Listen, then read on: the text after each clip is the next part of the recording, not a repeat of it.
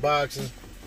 All right, y'all. So uh, Keith one time Thurman coming back with his new attitude, got his new haircut, new perspective, new outlook on his career. Talks about uh, making sure he stays lean, making sure he's not ballooning up in weight again like he did last year, and just saying that he wants to um, get busy. And uh, one of the guys that he mentioned, Shawn Porter. So he says, Showtime Shawn Porter, there ain't no Showtime without one time. You know, or without Keith Thurman. So he's saying that he wants to fight with Shawn Porter. Um, we know that Shawn Porter has been dismissive of Keith Thurman, but the reality is Keith Thurman owns a win over Shawn Porter. So when you look at the welterweight picture, for myself, I'm not gonna say anybody else because I can't project that on other people. But for myself, when I look at the welterweight picture and I look at who is who and what is what, I got Keith Thurman higher up the food chain than Shawn Porter because he beat Shawn Porter mano a mano. So that is a fight I'm definitely interested in, and it does me good as a boxing fan to hear Keith Thurman say he wants that fight.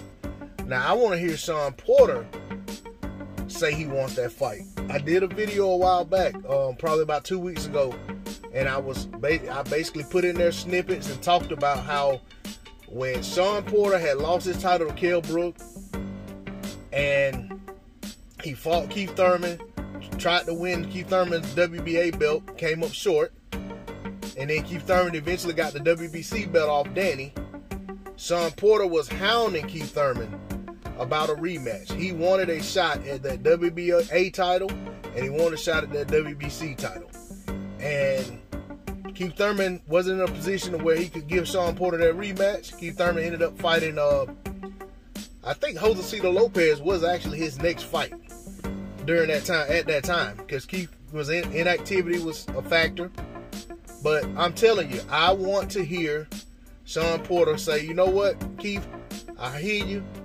I want to try to make that fight, and I want those guys to go to Al Haymon to see if they can get that fight made.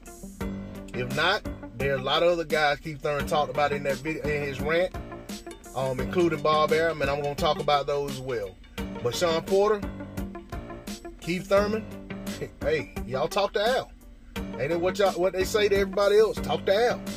If y'all want to fight with a PBC fighter, talk to Al. So both of you guys should have a direct line to Al or at least a direct line to somebody who has a direct line to Al, and, and come together and get this fight made. Um, both of you guys need a need a good win, so why not make it happen? D'Lo 404 Boxing. Please like, share, comment, and subscribe.